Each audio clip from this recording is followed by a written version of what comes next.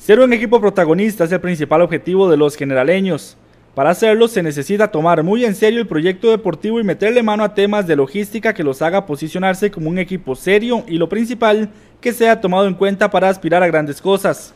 Ante esto, en el recién ascendido conformaron una junta directiva para coordinar temas de logística y manejar de mejor manera los fondos del equipo. La junta directiva tendrá a Alan Navarro como presidente, Carlos Arias de vicepresidente, Ariana Zúñiga como tesorera, Kimberly Zúñiga como fiscal y Jason Zúñiga como secretario. Gracias a Dios me dieron la posibilidad de estar en, lo que es secretario. Eh, lo que trata la junta directiva es para saber manejar los fondos, eh, dar un mejor trato al equipo en los viajes, que estos años atrás estaba sufriendo mucho con eso. Eh, por eso quisimos conformar una directiva donde, donde está Alan de presidente. Pacotilla, conocido como Pacotilla, es vicepresidente, también jugador, Carlos Arias, y mis hermanas, una es Ariana, tesorera, la otra es fiscal, que se llama Kimberly Zúñiga.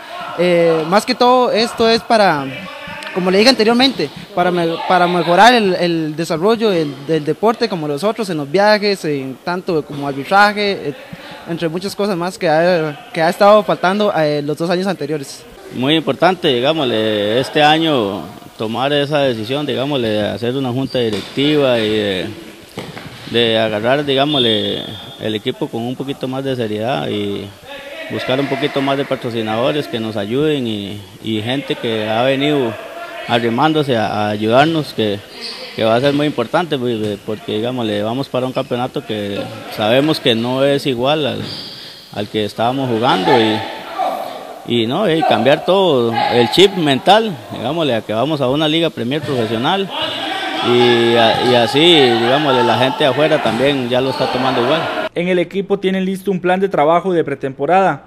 A finales de este mes se espera realizar un torneo internacional del cual se darán detalles más adelante. Bueno, sí, estos días atrás, gracias a Alan, que es el presidente, ha conseguido algunos contactos en San José, ya fuimos a la Universidad Nacional, porque de eso se trata, ¿verdad? Hay que entrarle duro, duro, duro, porque lo que viene no es fácil.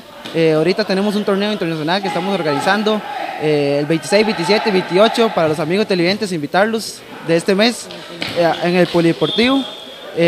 ahí vamos, más adelante vamos a tirar las entradas y todo eso para que la gente esté al tanto de la situación. Y ¿qué le digo? En estos días, más adelante, eh, estos días que vienen, tenemos unos fogueos también en San José que estamos buscándolos para entrar de lleno ya a lo que es el torneo nacional. La parte mental será clave para compenetrarse con la seriedad del torneo que les espera. Tienen claro que la Liga Premier reúne a los mejores 16 equipos del país. Todo el mundo lo sabe, ¿verdad? Es otro, no es un, es un mundo diferente. Aquí hay solo 16 equipos que supuestamente el néctar de, Costa Rica, se puede decir así. ¿Y por qué no expirar? El grupo está muy concentrado, sabemos que queremos, como fuimos campeones, queremos ser campeones ahorita otra vez.